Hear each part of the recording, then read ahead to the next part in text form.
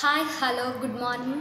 My name is V. Tejaswini. I am studying 9th class in ZBHS School, Suryarao Palem ఈరోజు నేను ninth class జీవశాస్త్రం నుండి కణ నిర్మాణం విధులు అనే పాఠ్యాంశం గురించి చెప్పబోతున్నాను కణం జీవుల యొక్క మౌలిక ప్రమాణం కణం జీవుల యొక్క క్రియాత్మక నిర్మాణాత్మక ప్రమాణం ఏ జీవరాశి అయినా ఏర్పడాలంటే ముఖ్యంగా కావాల్సినది కణం కణ నిర్మాణం విధులు అనే పాఠ్యాంశంలో భాగంగా వృక్షకణం వృక్షకణంలో ఉండే కణాంగాల గురించి చెప్పబోతున్నాను.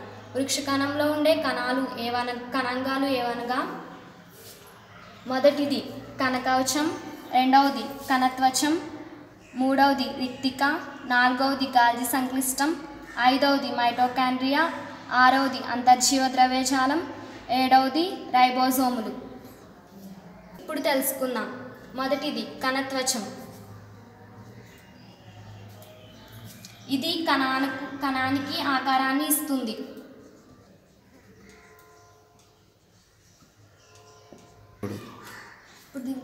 కణత్వచం కణం యొక్క ఆకారాన్ని పరిమాణాన్ని నిర్దేశించడమే కాకుండా కణం యొక్క కణాన్ని ఆవరించి ఉండడం వలన బాహ్య పరిసరాల నుండి లోపలి భాగాలకు రక్షణ కల్పిస్తుంది.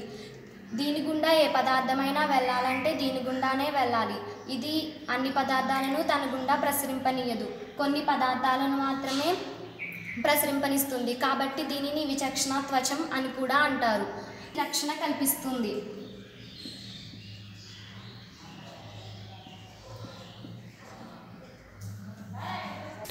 ఈ కనకవచం చాలా దృఢంగా ఉంటుంది. లోపలి భాగాలకు నిర్దిష్టమైన ఆకారాన్ని ఇస్తూ రక్షణ కల్పిస్తుంది మూడవది కణద్రవ్యం. ప్లాస్మా పరిచే ఆవరించి ఉన్న జిగురు లాంటి ద్రవ పదార్థమే కణద్రవ్యం. ఇందులో ప్రతి కణాంగం తేలియాడుతూ ఉంటుంది. నాలుగవది కేంద్రకం.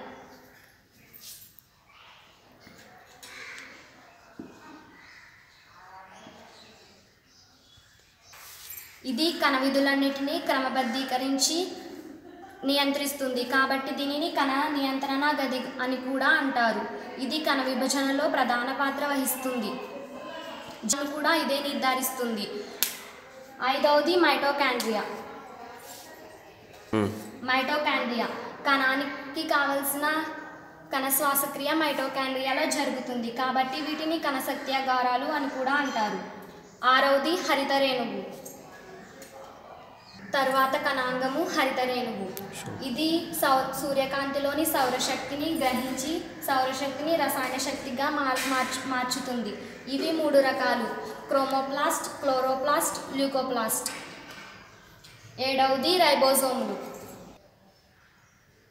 తరువాతి కణాంగం రైబోజోములు. ఇది ప్రోటీన్ల సంశ్లేషణలో ప్రధాన పాత్ర వహిస్తుంది. ఎనిమిదవది అంతర్జీవ ద్రవ్యజాలం. ఇది కణద్రవ్యంలో వ్యాపించి ఉన్న వలవంటి నిర్మాణం. దీని ద్వారా కణంలో ఒక భాగం నుండి మరొక భాగానికి పదార్థాల రవాణా జరుగుతుంది. తొమ్మిదవది గాల్జీ సంక్లిష్టం.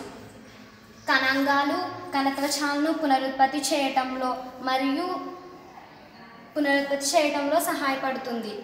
పదవది రిక్తికలు ఇది కణంలో కుడ్యపీడనాన్ని నియంత్రిస్తుంది. వ్యర్థ పదార్థాలను బయటకు పంపుతుంది. పదకొండవది లైసోజోమ్స్. ఇవి కణంలో ఉండే విష పదార్థాలను నాశనం చేయుటకు లైసోజోమ్స్ తనలో ఉండే ఎంజైమ్స్ను బయటకు విడుదల చేసి కణంలో ఉండే విష పదార్థాలను చంపివేస్తుంది. కాబట్టి వీటిని స్వయం విచిత్తి సంచులు అంటారు.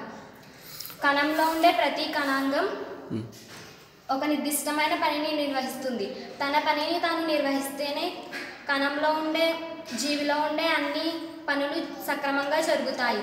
Thank you.